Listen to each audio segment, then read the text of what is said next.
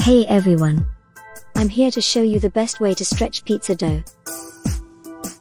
I promise if you start doing this, you will soon stretch dough like a pro. So, here's what you need to do. First, take your dough and flour it up.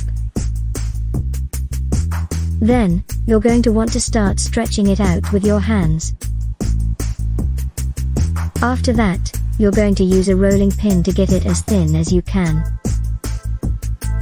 Now, the key to getting a really good stretch is to let the dough rest for a bit before you start cooking it.